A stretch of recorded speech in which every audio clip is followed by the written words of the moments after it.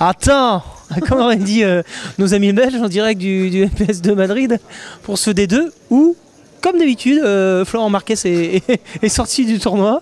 Alors Florent euh, est sorti sur un coup qu'il n'aurait pas dû jouer, Exactement. ouais. Limp du joueur en, en milieu de parole, la small blind complète, tu check en grosse blind, Et tu chopes deux paires, c'est le drame.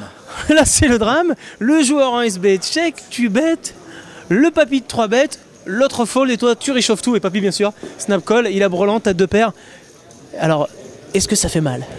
Euh, oui, ça fait d'autant plus mal qu'en fait c'est un coup que, ben voilà, comme on l'a dit, c'est que j'aurais pas dû jouer ce coup-là puisque euh, j'ai rien à, faire dans ce coup, mais tout simplement ce, ce papy euh, espagnol euh, sympathique euh, de prime abord a eu la il a inventé de- le poker, il a inventé le poker. Ah, il a réinventé un move en fait où il sait que en limpant, ben, il va faire brelan et moi je vais faire deux paires. hein, voilà, Voilà, c'est ça. ouais. Donc il savait déjà ce qu'il allait, qu'il allait arriver, quoi. En gros. Je pense, ouais. Ouais, c'est ça. Hmm. Une sorte de, de une sorte de magicien entre la lecture du chorizo et le reste sur la paella. C'est ça. C'est un peu ça. Alors, euh, à part ça, euh, donc on a vu que tu avais passé quand même une journée assez euh, récréative avec des joueurs très très récréatifs, hein, c'est espagnol. Très sympa, très gutturaux.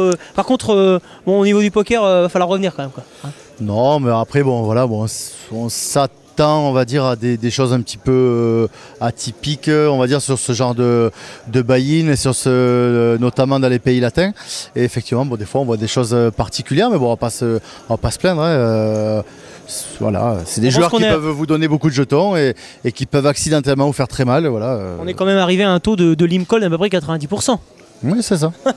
Ça. Mais écoute, on, on te souhaite bonne chance. On va, on va aussi avoir une petite pensée pour euh, le petit euh, Quentin Larry qui est encore euh, dans la compétition, qui se porte bien. Notre ami Paul Pham, celui qui tient le, le restaurant, hein, le restaurant Paul Pham qui tient un restaurant chinois. Vous allez voir, il est sympathique. On ira le voir après. Et puis bah, pour tous les, les Français et les francophones qui sont encore sur la compétition, on, on vous dit à tout à l'heure. On va aller voir justement le monsieur du, du Crédit Mutuel. À tout à l'heure.